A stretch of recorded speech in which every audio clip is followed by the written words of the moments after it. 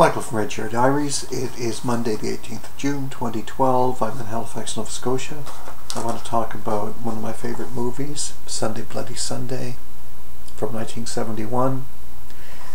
Glenda Jackson, Peter Finch, Murray Head. So many Oscar winners we've got. Glenda Jackson won for Women in Love, 1970. Then she won 1973 for uh, The Ruling Class, was it? Something like that, whatever. And then he, of course, Peter Finch, won posthumously uh, five or six years later for that work. And then Murray Head is a singer, songwriter, I imagine, but, uh, you know, actor. And I think he did uh, came to a lot of prominence with the musical uh, Chess, which I've never seen, but I, I've heard parts of the score quite often. And then the director is John Schlesinger, who won an Academy Award for um, Midnight Cowboy. So that's basically a year before this. So you've got people who are very, very famous, very talented, on winning streaks here.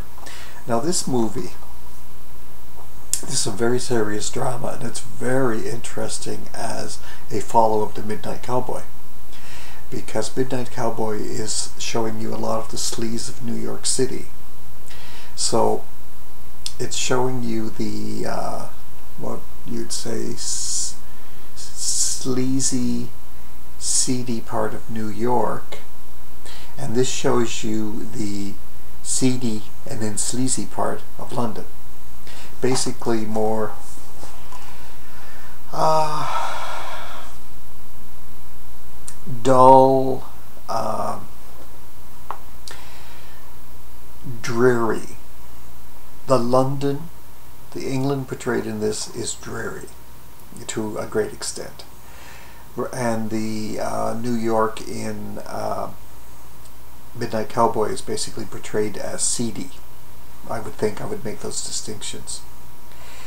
And the three characters in this movie are not down at heel by any means. These three characters are all fairly successful. Peter Finch is a Jewish doctor and he's homosexual. Murray Head is a bisexual artist, does like light sculptures and so on, and has uh, business partners in this, and uh, so he doesn't seem to be doing too badly. Glenda Jackson is like an outplacement officer, a uh, human resources person, a headhunter, that sort of human resources role. And she's bored to death with her job, but she came from a fairly well-to-do family because when she goes to visit her mother in this, we're talking money. Okay, so she's running away from that in some ways. And uh, Peter Finch is always trying to avoid being set up with women. and uh, but he really, really is a very caring physician. I think that's very, very obvious in this. And Murray Head is his character. Bobby, I think, is uh, very, very nice, but he just does not want complications, which is a very, very difficult thing for a bisexual.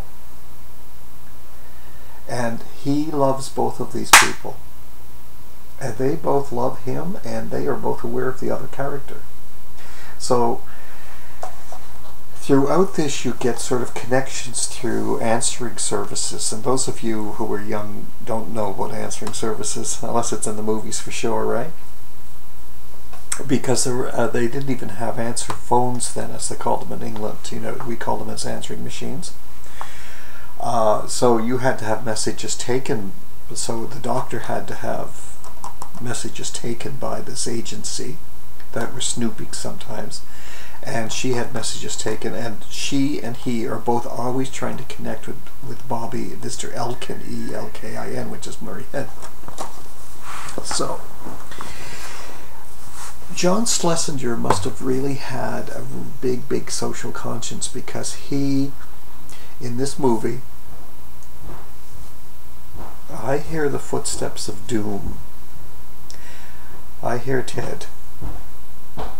Yes. What's what's Rufus's daughter's name? Oh, um, Sheba? Sheba. Who was on the phone? Oh, it's an idiot trying to phone back four times, trying to tell me that we'd won that prize. Yeah, that's for sure. Those scams, eh? If you, if they want us to believe something, they at least can speak English properly. Yeah. What's, what have you been up to? Anyway, I'm making a recording. It's in the middle. Oh. Scamper out. Close the door. Close the door. Was it open? Was it shut? Oh, well, it was, well, you must have left it open when the dogs came down because I closed it. Oh, cohabitation, isn't it difficult? Anyway, it is a a wonderful portrayal of a, a bisexual person because there's nothing sleazy about him. Non-committal, yes, but not not sleazy, and that was very or is continues to be very refreshing. Uh, because a lot of us who are gay don't believe in bisexuals. Uh, we don't. Some, many of us don't believe they exist. No, that's not the case. Of course, they exist. There's a whole continuum of sexuality, the Kinsey continuum alone. You know, 99% homosexual versus 99% heterosexual. Nobody seems to be 100%. At least in feelings or inclinations. In actions, yes, mo- most of us are committed to to one gender. So, but but of course, as I said, e- each of the two more mature characters want something uh, a bit more lasting that they're going to get from Bobby. So, Alex is her name, and uh, Daniel is the doctor. So I really liked so much, and I was saying before Ted came down the steps that there was there's a social commitment to this because when when a director just decides to adapt or, or take on the job of directing a movie such as Midnight Cowboy, he's talking about the disenfranchised first of all, regardless of how prurient that movie is, and, and it's a it's a very good movie. I, I like this movie better, actually, because I, I really like the character development, and and I I wouldn't be surprised if Schlesinger had to work with these mature actors compared to Dustin Hoffman, because Hoffman I think would drive you crazy on a, on a, on a set because he's so he just can't let anything go, you know, anything that I've heard about him anyway. So in this one, Sunday Bloody Sunday, you get you, you hear the snippets of the news and you see the headlines in the newspaper and it is so much like today because uh, one of the first things you hear in the movie is uh, about an econo- a pending economic collapse or economic disaster and layoffs in England. Now I've been hearing that since I can since I've been born about the economic problems in, in England. So any of that stuff, of course, this precedes the Thatcher era by about eight, eight years, I think. Then you get the Thatcher Thatcherites, and then you get everything that happened afterwards. And basically, it's it's the same. It's dreary. There's a lot of missed opportunities in, in England. Spoken by somebody who's only been there a couple of times as a visitor and, and uh, doesn't have to live there, right? But as an outsider, so my, my knowledge is, is basically just what I see in the papers, which is dangerous. So you've got all you've got that overlay. You've got um, Alex's job of trying to get people other work. You've got people, uh, mature men being laid off, that sort of thing. So you know it, it, it's a bit dreary, and you've got people being sick at the doctor's practice. So there's all of that, but the art direction as well as the acting and the story are so interesting. I find it quite riveting. You you've got Alex and Bob Bob go off to mind three kids I think and a big dog for somebody's relative. I don't even know if it's her sister. I, I guess it's her sister. And he and our bisexual is so bored and unhappy there. So he has to leave the country and end up going off to see the doctor in the city. But you've got all of this domesticity which I can understand that was driving the Glenda Jackson character crazy as well because she just wasn't made for it. And nor nor was her boyfriend. And and I don't like staying in people's houses when they have kids and, and all that all that you know, just messiness that uh, I, I don't mean just physically, I, I mean just complex relationships and kids and nattering and all that sort of stuff. So I could understand that. I've always thought that was very, very realistic when she was there. The, the boredom of looking after kids as well. And then you've got Daniel's home, and it's so pristine. It's not Queenie, it's just nice and clean, and he's listening to Mozart, and uh, he's doing some gardening, and that sort of thing. So he's got a domestic situation, you know, that's more mature. Alex's home, her, her own apartment, it looks like it's continually under construction. It's just a mess. And so you've got all of that. So you've got Sunday Bloody Sunday. It starts, I think, on like Friday, and it goes through, basically goes through nine days, I think, because it, it ends on another Sunday. And so it's it's just a snapshot of, of nine days, and you get the whole thing from beginning uh, from the beginning of the movie to the end of the movie. You get these transitions in the characters. Um, full on kissing between the two men right off the bat, very naturalistic, very natural conversations.